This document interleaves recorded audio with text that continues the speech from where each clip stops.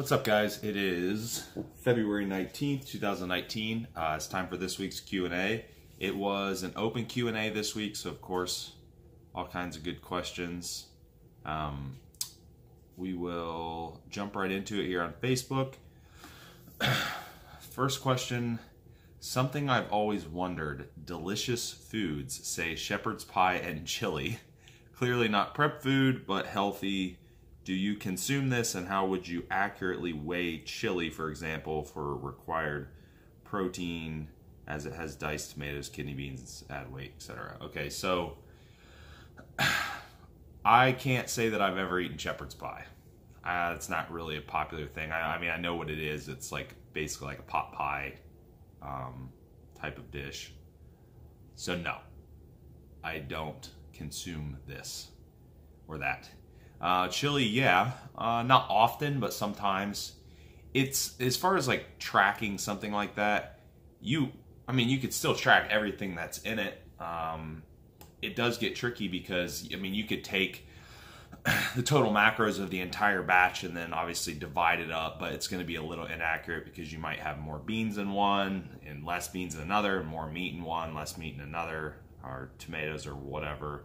Um, making a single serving of something is obviously going to be easier because you can just measure and you know track everything that's already in it, put it in, and you know you and then there you go. But it does get it does get a little trickier when you're making multiple batches. Um, the best you can really do is, you know, if, if your meals are the same all week and you make it for a whole week, then you know you could you could track it that way because you could weigh the total batch and then you know even though the days might vary very slightly, um, you know, you're still going to be hitting those macros for the week. So it's not perfect, but I mean, you could certainly do it that way. Um, but yeah, I mean, you could, like I said, you could essentially just weigh everything that's in there. Uh, and there's nothing necessarily wrong with something like chili. Um, Okay. Next one. Another random one. what is the dirtiest thought you've ever had? Oh my. Well, my house is pretty much constant political incorrectness and dirty jokes and inappropriate things. So it would be hard to peg one down. I pretty much live by live by this kind of humor. Um, I don't know, but we definitely don't hold back around here. We are uh, we like to offend people if possible. um, that's why I enjoy British humor. Um, I was talking to somebody about this on podcast the other day, Joe. Considering you know you guys have a little bit different humor there, um, I really like the dry British type humor. Um, when we visited, I really enjoyed it there. I thought everything was pretty laid back and funny, um, not so uptight, and everyone gets offended like they do here in the states. Uh, next question: Your favorite breakfast when you have time to make it, of course. Okay, my favorite breakfast. I fast most mornings, so it's hard. As far, I, I, mean, I like breakfast foods. Um, like if you're talking about just breakfast foods, I mean, pancakes. You know, I love pancakes. Um, that's probably my favorite. Like, I'm not into, I'm not crazy about, you know, anything fancy really. I mean, give me some pancakes and I'm pretty happy. Hell, you give me pancakes and egg whites and I'd be pretty happy. Um, yeah, so I, but I, I'm trying to think right now I'm not doing a lot of breakfast foods in my in my diet. Uh, I have in the past, like I'll go through phases where I'll do that kind of stuff, and uh, but at the moment, nothing, nothing really breakfast related. But yeah, give me some pancakes, maybe waffles, um, muffins, you know, stuff like that. I like all that stuff. It's good. And then I definitely use eggs and stuff in my diet pretty regularly, but I'm not like probably shock a lot of people. Everyone's so crazy about bacon. I don't really care for it. I mean, it's okay, but it's not like it's not certainly something I would ever make for myself other than like turkey bacon and stuff sometimes, but I'm not, I definitely am not crazy about bacon. Um, and we will move on. Sorry, I don't have a good answer for you there. Why do people say you can become diabetic by running exogenous insulin? Is there any truth to this, assuming that you have every unit you take is covered by carbs you need? Can you mess yourself up by running it for too long period of time, and how does that work? My thoughts are that if you abuse it and run too much, like anything else, you would mess yourself up. All right, so I hear this one a lot. You will become diabetic from running insulin, which is which is one of the more ridiculous things that you could say because insulin is a treatment for diabetes. So, no. And the short answer is no, you can't. And the idea of insulin abuse is kind of also ridiculous if you think about it because you can really only take as much insulin as, you know, per a certain amount of glucose that you have in your blood. If you take more, you'll go hypoglycemic. So, if you're not, you know, however much carbohydrate you're eating, you can only take a matching amount of insulin. Whatever that ratio is for you, it's going to vary person to person. Um, you know, you can't can't really abuse it. Now, abuse might come into play when you have something like hyperinsulinemia, where you actually have high insulin levels, where where you could indefinitely keep your blood glucose under control for the most part, just take more insulin. So it's really not an it's really not an issue of abuse of insulin, more of an issue of abuse of eating too many carbohydrates that you don't really need and hadn't taking, you know, and then subsequently taking the insulin to match, if that makes sense. Uh, but if you eat, you know, amount of carbohydrates that's not excessive, um, that you that you need and that you're going to utilize, and you're going to build muscle with, or whatever, uh, you can't really take too much insulin. Again, you can only take as much as you need to bring your blood glucose down to normal. So no, no, it won't cause diabetes, and it doesn't. It doesn't really work like something, for example, like ex- exogenous testosterone, where you take it and uh, it shuts down your hormonal axis. I mean, you're not going to produce your own. Your, you know, FSH and LH are shut down. You're not stimulating. You're not producing, you know, testosterone. But that's not the case with insulin because when you take it, it doesn't automatically shut down your, you know, your pancreas or your endogenous insulin production. If if it did, then you'd have to take insulin at every meal. Like if it shut you down quickly, like for example, people will say, "Well, I just use insulin post workout." All right, but they also have, or they use it pre workout, uh, but they also have carbohydrates in other meals. Well, if it actually you know hurts your pancreas to the point where it was shutting down your endogenous insulin production then those other meals that you didn't take the insulin you wouldn't produce you know your pancreas wouldn't be able to produce insulin because it would be shut down. So that's obviously not the case and people stop taking it and their pancreas is fine. It produces insulin to compensate. Um, so again you can really only like what you said in here every unit you take's covered by carbs. Well, it would actually be vice versa. You take, you can, or, you know, you cover every carb with a unit of insulin or however you want to do it. But um, no, you're not going to cause diabetes. Uh, it would just, like I said, it would be more of a matter of excessive eating and you're constantly matching your blood glucose with excessive insulin because you're just eating too much. Uh, so most people don't get to that point. Like most people I don't actually see hyperinsulinemia. I don't really I can't say that I've ever actually had anyone that's that's gotten to that point even using a lot of insulin because they you know their body was utilizing the carbohydrates. You know i've actually had people that will check their fasted insulin levels um, and make sure that they're not you know that they're not excessive. So there you go. Yeah that's a good topic. Uh, it's people say that, and it's just puzzling because I'm like, well, I don't think you quite understand how insulin works and uh, how the pancreas works. So that would be my answer. um.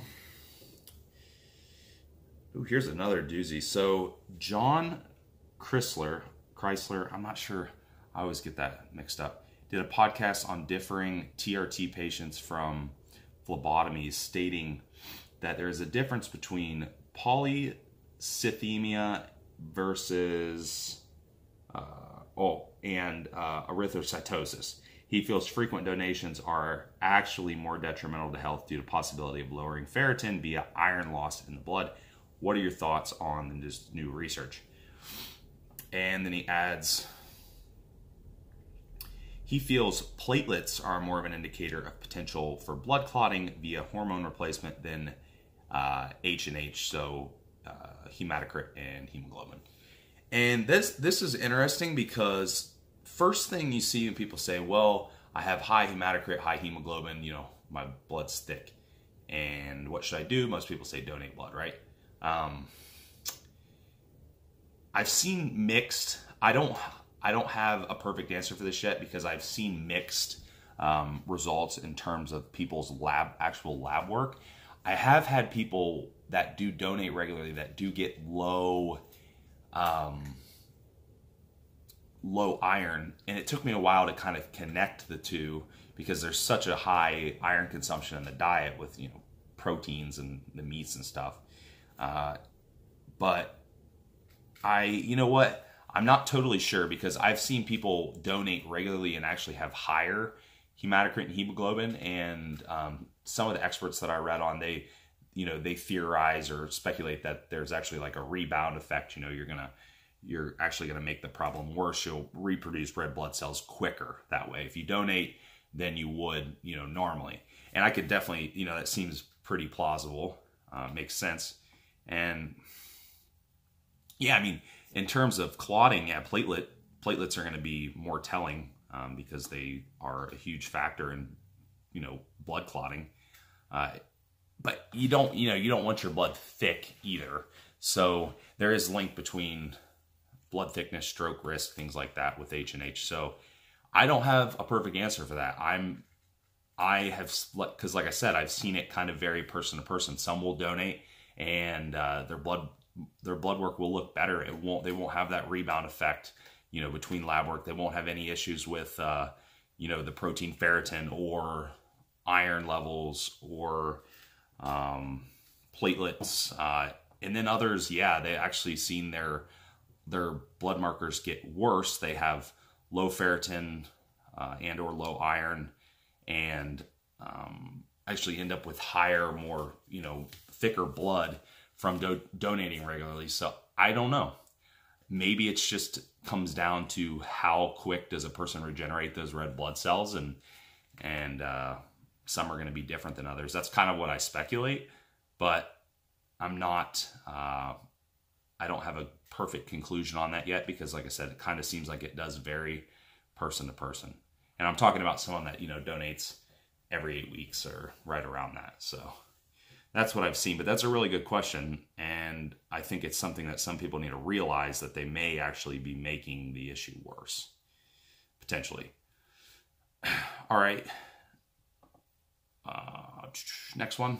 I think this is the last one. Yeah, there was another one here on Facebook, but it looks like several people already had a conversation within the question and answered it. So I won't cover it because it looks like they did it pretty well.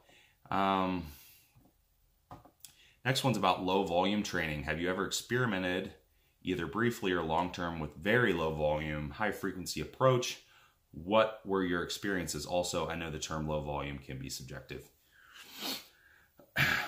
Yeah, definitely. I've done like, you know, your typical DC type training, which is just a purely low volume type of training.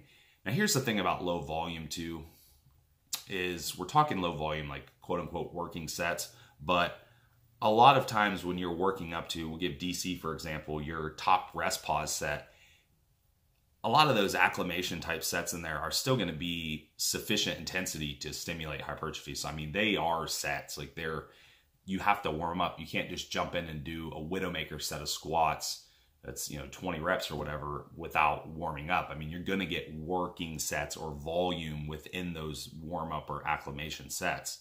So the idea of that of low volume being one working set or whatever is kind of flawed and i don't know you know it's just that you're you're taking that one working set to absolute mechanical failure or you know or whatever your program prescribes. Um my only the only downside like i love this kind of training. I personally love it. I think it's great for progression in terms of strength um, progressive overload. It could be good for somebody that doesn't have much time. You know that's obviously could be a benefit. Uh, it can be great for just um, enjoyment people enjoy it because they can go in and beat their logbook it is progressive it does miss out on the volume component which we know is also important for hypertrophy but if you can enjoy something and be productive with the uh, increasing load, then I mean that's going to be effective as well. I mean, there's plenty of people out there that have been super successful using this type of training. So, um, for me personally, the biggest downside was it just completely obliterated my CNS. I found that within my training, I can do about two sets to full out, you know, balls to the wall, mechanical failure um, lay on the floor, keel over, and die type sets. If I'm trying to do any more than one or two of those in a workout, my workout just sucks. All of the other sets are not productive. They can't, you know, they don't really do anything for me. And even then, my CNS just feels like junk. You know, even though I'm not doing a lot of volume, I just feel like shit. So I burn out quick on that type of training. I can I found that I can do one to two of those sets within a workout maybe and then do more of a moderate volume so I can get some volume in. It's certainly not high. Certainly wouldn't consider it high, but moderate. Um, and by volume, I mean all those sets that are sufficient intensity for hypertrophy. So I consider those the the working sets. But that's my only down for me personally. That doesn't necessarily mean that it doesn't work for somebody else because I've written low volume approaches where we use things like rest pauses or just one top set or um, you know, whatever. I mean, there's a lot of ways to do it. it doesn't necessarily have to be DC, but yeah, it can work. Like I said, time constraints works really well for that. People that just really enjoy it and are progressive with it works good for that. Again, it just matters, you know, like CNS resilience, like how much, how much can your CNS handle, and you know, are you going to be able to recover? And and typical DC was was like a lot of people were only doing like three days a week sometimes, even though some of them were doing you know maybe six where they did push pull legs, push pull legs, or whatever. Uh, that's the higher higher frequency, but it, the frequency thing is not really so much. The frequency does play into it because you know how long does your CNS have to recover between sessions if you're doing more actual days per week, but it's really the you know it's really the intensity uh, component that is that can be troubling for some people. And it's it's not going to hurt somebody that just doesn't generate that good of intensity, but somebody that doesn't generate good intensity is probably not going to get much out of it either. So uh, again, if you have a bulletproof CNS and you can just beat the shit out of yourself, then you could really enjoy this and do it. I wish I could do it more. I just can't. I just have to kind of pick and choose and get my do my sets to failure here and there, which I do really enjoy, you know. So, yep, that's kind of my, my thought on it. I think it certainly has its place. I definitely use it with people at times for sure. So that's it this week, guys. I uh, appreciate all the questions, and I'll talk to you guys next week.